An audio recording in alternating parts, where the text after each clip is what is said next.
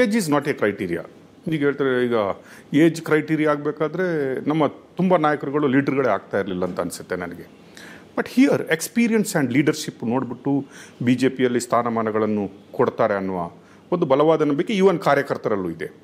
What you think made Modi and Amit Shah to decide ಎಲ್ಲರನ್ನು ಬಿಟ್ಟು ವಿಜೇಂದ್ರರನ್ನು ನಾವು ನಾಯಕನಾಗಿ ಚೂಸ್ ಮಾಡಬೇಕು ಅನ್ನುವ ಕ್ವಾಲಿಟಿ ಯಾವುದಂತ ಅನ್ಸ್ಕೊಂಡ್ರಿ ನೀವು? ನೋಡಿ ಛತ್ತೀಸ್ಗಢಲ್ಲಿ ತಾವು ನೋಡಿ ಛತ್ತೀಸ್ಗಢ ಬೇರೆ ಬೇರೆ ರಾಜ್ಯಗಳಲ್ಲಿ ಮೊದಲ ಬಾರಿ ಶಾಸಕ ಆಗಿರ್ತಕ್ಕಂಥವ್ರನ್ನು ಸಹ ಮುಖ್ಯಮಂತ್ರಿ ಸ್ಥಾನದಲ್ಲಿ ಕೂರಿಸಿದ್ದಾರೆ. ನಮ್ಮ ರಾಷ್ಟ್ರೀಯ ನಾಯಕರು, ನಮ್ಮ ಪ್ರಧಾನಮಂತ್ರಿಗಳು, ನಮ್ಮ ರಾಷ್ಟ್ರೀಯ ಅಧ್ಯಕ್ಷರು ಯುವಕರಿಗೆ ಅವಕಾಶನ ಕೊಡಬೇಕು.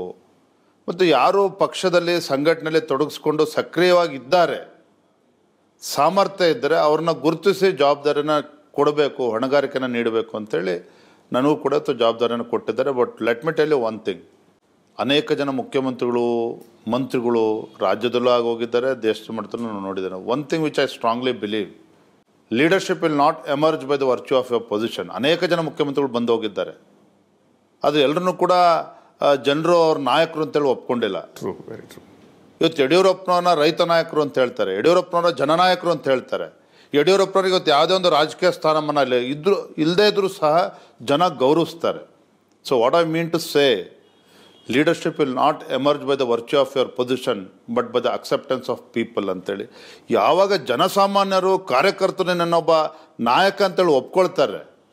ಟ್ರೂ ನೀನು ಎಂ ಎಲ್ ಎ ಆಗ್ತೀಯೋ ಮಂತ್ರಿ ಆಗ್ತೀಯೋ ಮತ್ತೊಂದು ಆಗ್ತೀಯೋ ದಟ್ ಈಸ್ ಸೆಕೆಂಡ್ರಿ ಆದರೆ ಜನರ ಮನಸ್ಸಿನಲ್ಲಿ ಜನರ ಹೃದಯದಲ್ಲಿ ನೀನು ಸ್ಥಾನವನ್ನು ಪಡೆಯೋದಕ್ಕೆ ಸಾಧ್ಯ ಆಗ್ತದ? Only then you will emerge the leader ಅದು ಪ್ರತಿಯೊಬ್ಬರು ಕೂಡ ಅರ್ಥ ಮಾಡ್ಕೋಬೇಕಾಗಿರ್ತಕ್ಕಂಥದ್ದು. ನಾನು ಇಷ್ಟು ಮಾತ್ರ ಸಂದರ್ಭದಲ್ಲಿ ಹೇಳ್ತೇನೆ ರಾಕೇಶ್ ಜಿ ಅನೇಕ ಜನ ನಾನು ಕೆಲವು ಕಡೆ ಹೋದಾಗ ಕೇಳ್ತಾರೆ ಏನು ಮುಂದೆ ಮುಖ್ಯಮಂತ್ರಿ ಆಗಬೇಕಾ? ಯಾವ ಮುಖ್ಯಮಂತ್ರಿ ಆಗ್ತಾರೆ? Is it not about becoming chief minister ಇವತ್ತು ಭಾರತೀಯ ಜನತಾ ಪಾರ್ಟಿ ದಕ್ಷಿಣ ಭಾರತದ ಹೆಬ್ಬಾಗಿಲು. ಇದಿನ್ನೂ ಕೂಡ ಶಕ್ತಿಶಾಲಿಯಾಗಿ ಬೆಳಿಬೇಕಾಗಿದೆ ನಮ್ಮ ಸಂಘಟನೆ.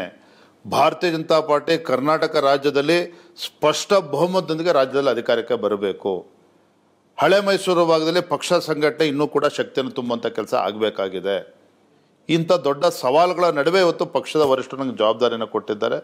ಅದನ್ನು ಕಾರ್ಯಕರ್ತರ ಒಂದು ಸಹಕಾರದಿಂದ ಮುಂದಿನ ದಿನಗಳಲ್ಲಿ ಅದನ್ನು ಸಾಧಿಸ್ತೇನೆ ಅನ್ನುವಂಥ ಒಂದು ಅಚಲವಾಗಿರ್ತಕ್ಕಂಥ ವಿಶ್ವಾಸ ನಂಗೆ ಸಂಪೂರ್ಣವಾಗಿದೆ.